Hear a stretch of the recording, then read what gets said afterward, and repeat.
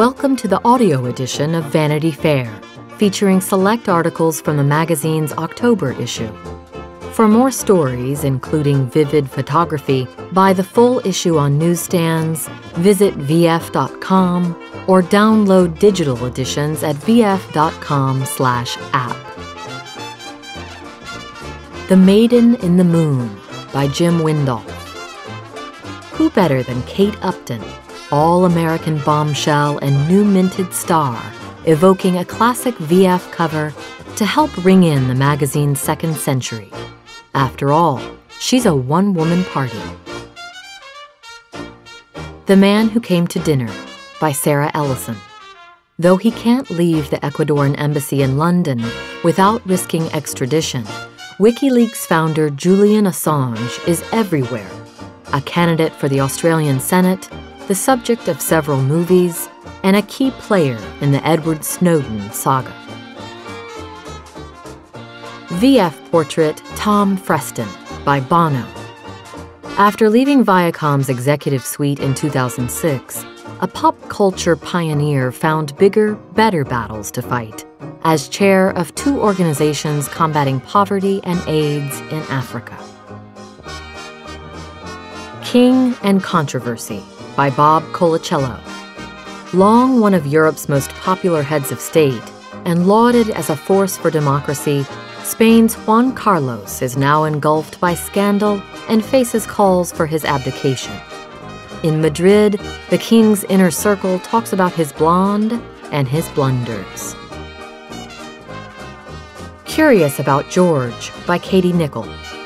After Prince William and his Duchess introduced their son to the world on July 23, the real excitement began. The author of a new Kate Middleton biography delivers a behind the scenes look at His Royal Highness George Alexander Louis' first weeks. What Lies Beneath by William Langewiesche. Hurricane Sandy revealed the vulnerability of New York City's subterranean systems. Water, sewage, transportation, communication, everything's down there, as are the few hardy souls who map its complexities. Balthus's Last Muse by Ingrid Sischy. Two shows at the Metropolitan Museum of Art and the Gagosian Gallery bookend Balthus's controversial career.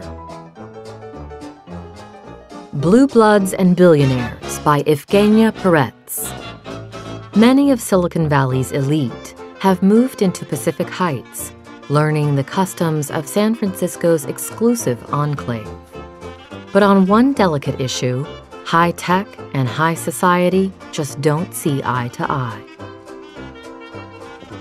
It's Getting Hot in Here by James Wolcott. Thanks to Paula Deen, Gordon Ramsay, and Nigella Lawson, the Celebrity Kitchen is a steady source of tabloid dish. The Vanity Fair Century.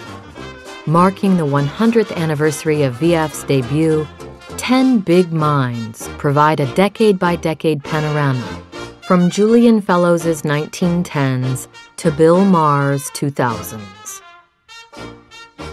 Mr. Rumsfeld Doesn't Regret by Errol Morris. For his latest film, a noted documentary maker asks Donald Rumsfeld exactly what the then Defense Secretary was thinking as he presided over the invasion of Iraq.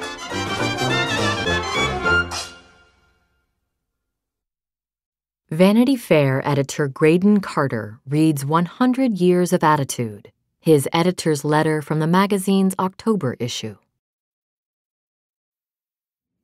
Depending on the circumstances, a major anniversary can put you in any number of moods. Celebratory, certainly, maybe a little wistful, depressed if you're built that way.